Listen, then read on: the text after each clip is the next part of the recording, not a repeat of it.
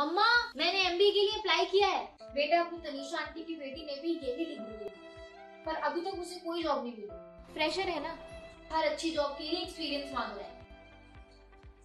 Mom मेरा MBA का course अलग है। सब यही बोलते हैं, बेटा। मेरा वाला अलग है। मॉम आप प्लीज़ सैवेज मत हो जाओ।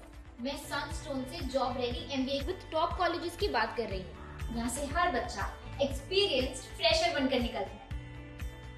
एक्सपीरियंस्ड फ्रेशर ये कैसे होगा जन्नत यहाँ इंडस्ट्री अलाइन करिकुलम के साथ साथ सिक्स प्लस मंथ्स की इंटर्नशिप भी कराई जाती है और ये ऐसे हर फ्रेशर को एक्सपीरियंस बना देता है। ये सब सच है या तू फिर प्रैंक कर रही है इंस्टाग्राम के लिए?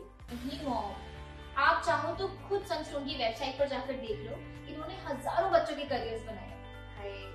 मेरी बच्ची तो समझदार हो गई है। वो तो है।